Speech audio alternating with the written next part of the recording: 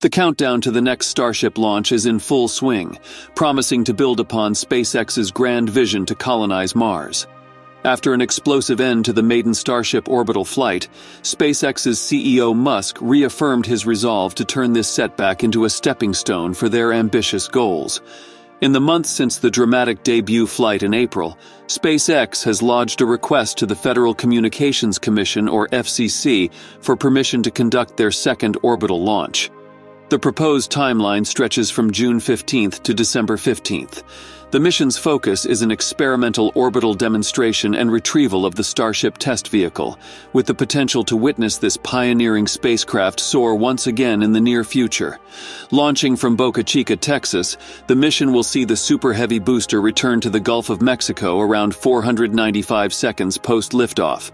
Meanwhile, the Starship's upper stage is set to splash down in the Pacific Ocean, northwest of Hawaii's Kauai Island, about 90 minutes after takeoff. However, obtaining an FCC license is only one piece of the puzzle. Further pre flight checklist items need to be addressed. To this end, SpaceX is tirelessly working on the necessary calculations and adjustments.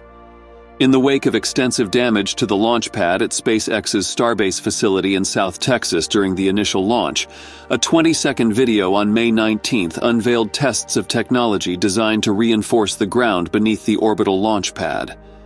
The force generated by the Super Heavy rocket's 33 Raptor engines during the maiden flight resulted in a massive crater and scattered debris. In response, Musk proposed a giant water cooled steel plate under the launch mount. The test footage showed a Raptor engine striking a steel plate in a torrent of water, promising a feasible solution when upscaled to accommodate the full array of engines. The upcoming launch is anticipated to feature the next generation Raptor 3 engines, a crucial advancement in rocket technology for its power and efficiency. Unlike most rocket engines using kerosene, the Raptor engine employs a full flow staged combustion cycle using liquid methane and liquid oxygen. The advantages of methane are cleaner combustion, reducing engine wear, and the intriguing possibility of manufacturing methane fuel on Mars for return journeys. The Super Heavy rocket, boasting 33 Raptor engines, could generate more than 12.5 million pounds of thrust. By contrast, the Falcon 9's first stage, powered by nine Merlin engines, produces around 1.7 million pounds of thrust. This demonstrates the Raptor engine's immense power and efficiency, signifying a colossal stride in rocket technology. The Starship itself is a marvel of modern engineering. With an impressive height of 160 feet and a diameter of 30 feet, it's designed to carry both crew and cargo to a variety of destinations in space. Its reusable design aims to significantly cut the cost of space travel, making it more accessible. The stainless steel structure is chosen not only for its durability, but also for its ability to withstand the harsh conditions of space and re-entry. The ship features a large payload bay, which could be configured to serve different purposes, including carrying scientific instruments, satellites, and even habitats and resources for future Martian colonists. Nevertheless, a critical obstacle remains gaining Federal Aviation Administration or FAA approval for another launch test. Despite the FAA confirming no injuries from the previous launch, they maintain that new tests will only be approved if public safety isn't threatened. Given SpaceX's history of meticulous planning and adherence to safety guidelines, it's expected that they'll work strenuously to ensure the upcoming test's safety and success. SpaceX's ability to learn from failure is a key factor in their success. Each setback is an opportunity to identify weaknesses and implement improvements, as shown following the 2015 Falcon 9 explosion. A faulty strut was found to be the cause, leading to upgraded quality control measures and testing procedures. SpaceX must also conquer the challenge of achieving a controlled descent and landing of the Starship.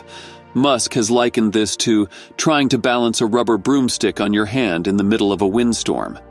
The Starship needs to descend belly first to increase drag and reduce speed, then flip vertically in time for the landing burn, a novel and daring procedure.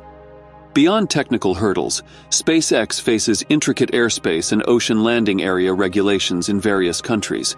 They must secure essential approvals and collaborate with international organizations to ensure the safety of the flight path and landing zones. Even with these challenges, SpaceX remains resolute in pushing the boundaries of space technology. This mission and future ones rest on SpaceX's ability to learn from past mistakes and continue driving technological innovation. If successful, the second Starship launch, and the many anticipated to follow, will take us one step closer to the dream of Mars colonization. Despite the complexities and obstacles, the goal of colonizing Mars remains steadfast. SpaceX, under Musk's stewardship, continues to turn challenges into opportunities. The upcoming Starship launch signifies their unwavering dedication. In preparation for future missions, SpaceX has invested significant resources in research and development, particularly in their innovative Raptor engines. These engines employ unique propulsion methods, promising more efficient and powerful launches than traditional rocket engines. Additionally, SpaceX has established partnerships with a number of academic institutions and research organizations to further refine their technology and operational procedures.